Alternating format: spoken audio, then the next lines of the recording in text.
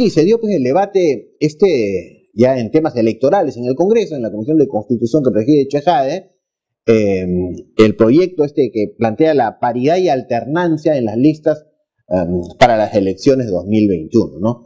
Paridad que tienen que haber la misma cantidad de hombres y mujeres, en fin, la misma agendita esta, ah, esta progresista que han tratado de imponer durante todos estos años, valgan verdades, sectores progresistas que buscan soterradamente sin llamarse socialistas, sin llamarse comunistas, poniéndose en ropaje de oveja, tratan de entrar ah, como lobos a tratar de contrabandear ideas pues, que, generan más divisionismo en una sociedad que es unión, que es lo que, es lo que pretendemos. Como bien lo dice Gloria Alba, y en esto de todo el sentido, las mujeres no necesitan ningún nivel de proteccionismo. La mujer debe ser lo que quiere ser y aspirar a lo que debe ser en función a sus méritos, a su profesionalismo, no en función a la ayuda de alguien que le quiere dar. Yo le, digo, ¿quieren, haber alternancia. Yo me pregunto, ¿qué ocurriría en, un esquema de alternancia y paridad como el que plantean en las listas si realmente tienes 50 hombres, o son 65 hombres, 65 mujeres, y realmente en el escenario político no tienes 65 mujeres preparadas, tienes 100? ¿Por qué le, le vas a limitar con un cupo de 65? ¿Por qué no 70? ¿Por qué no 80? ¿Por qué marginas al resto de mujeres que están en igualdad de, condiciones de asumir una labor política? Ese es un, esquema que a la larga termina marginando. Pues les decía, se llevó a votación una vez en la Comisión de Constitución y no alcanzó ah, los votos necesarios para una reconsideración. Ya había el tema sido desechado. Cuando en el Congreso una comisión se desecha porque no tiene los votos a favor, eh, un proyecto de ley, alguien puede plantear una reconsideración, que se vuelva a votar el tema.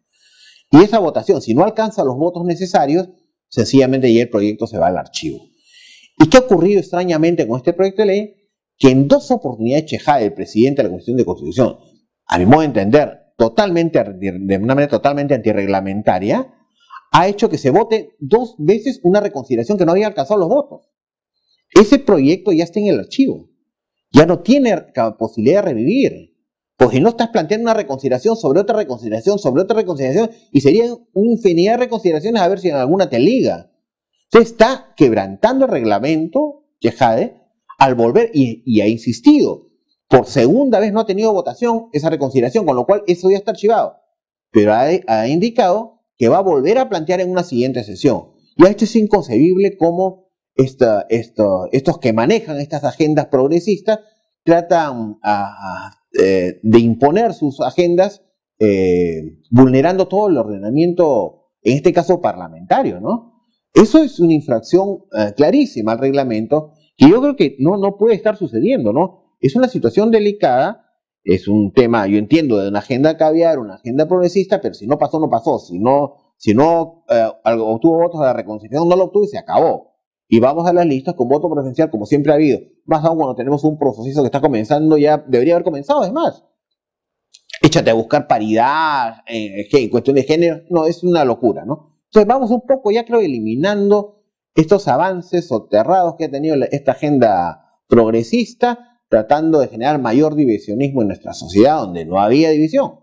La generan a nivel de división religiosa, a nivel de división por sexo, tienen más de 100 sexos ahora supuestamente existen en el mundo.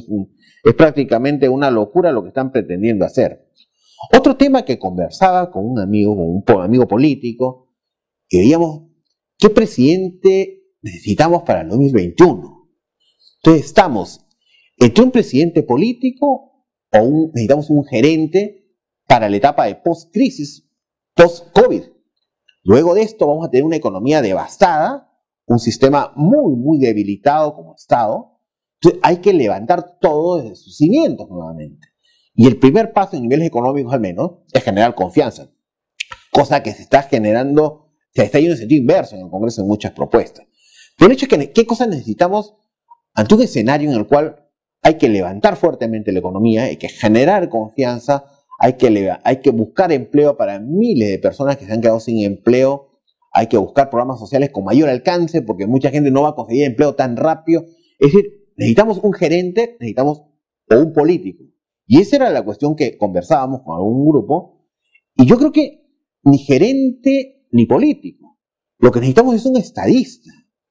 Y un estadista es una persona que sabe decir no cuando debe decir no a una propuesta y sabe tomar decisiones, por más duras que puedan sonar, por mayor costo político que pueda tener para él, eh, porque se considera que es la solución adecuada que beneficia a todo el país. Pero si tenemos un presidente político, solamente político, lo que tenemos es una persona que se deja influenciar mucho por grupos eh, mediáticos, grupos ONG de izquierda, porque le, meten dos titularazos en la, prensa, dos portadas en prensa, y se retrae. El político es así, mide mucho su nivel político, su interés político. Y si el político no es estadista, pues estamos hechos. Porque en realidad no vamos a tener un gobernante, vamos a tener eh, una persona que va a ser manipulada permanentemente por grupos de interés, en el caso de ONGs de izquierda, por sus agendas caviares, en el caso de los medios de comunicación, en el caso de los grupos de poder económico, en fin, va a ser prácticamente un monigote si solamente es político. Y si es un, un gerente, sabrá administrar, pero no, no, no, no tiene la capacidad de decisión respecto a temas de, no tiene, no tiene análisis político debe tener un político. Entonces, yo creo, como les decía, más que pensar de acá al 2021 en tener un presidente eh, político o gerente, debemos pensar en que necesitamos un presidente que sea un estadista, que esté dispuesto a quemarse los pantalones cuando una decisión es dura, pero debe adoptarse. Eh, entonces, si no tenemos, si no encontramos, vamos a tener problemas de acá al 2021. Tenemos que buscar un político o, que sea gerente o un gerente que sea estadista. Lamentablemente en los últimos gobiernos no hemos tenido estadistas en el Perú. No hemos tenido, cuando hay situaciones difíciles, cuando, que las tiene muchas veces un gobernante, y tiene que tomar decisiones a veces duras, a veces en contra de, la, de lo que piensa la población, el deber del gobernante es instruir a la población, tomar la decisión que es la correcta para el, país, pero explicar al pueblo por qué ha tomado esa decisión y por qué es la decisión correcta y por qué no es conveniente lo que piensan algunos grupos que están influenciando en las masas para tratar de acomodar a sus intereses algún tipo de decisión del Estado, ¿no? Entonces, en conclusión, lo que requerimos, yo creo, pues es un estadista, hay que ponernos a buscar dónde conseguimos un estadista o preparar a alguien que tenemos muy poco plazo, que esté dispuesto y que sea para eso, acá sí calzan muy bien los términos de políticamente incorrecto. Un estadista, por naturaleza, es políticamente incorrecto. No va corriendo detrás de la corrección política porque lo asustaron tres ONGs o porque le clavaron un titular en un diario. Es políticamente incorrecto por naturaleza. La corrección política no calza con la, con la, posición de estadista, no es estadista. Tiene por naturaleza el estadista que ser políticamente incorrecto porque va a tomar decisiones que muchas veces no le va a gustar a la población, pero son las que se requieren en determinadas situaciones y es lo que hace precisamente a un gobernante que sea un, uh, estadista. ¿no? Eh, por otro lado, ya en el Congreso comienzan a hablar nuevamente el tema de la inmunidad tercos con el tema, tercos como una mula, uh, y en algunos casos con intereses subalternos, pues, ¿no? Tratando nuevamente de romper el equilibrio de poderes que debe haber. Les he explicado una y un millón de veces por qué razón tiene cierto poder el Congreso y por qué razón tiene cierto poder el presidente. Y por qué tienen que haber pesos y contrapesos entre ambos para que ninguno de los dos se desboque.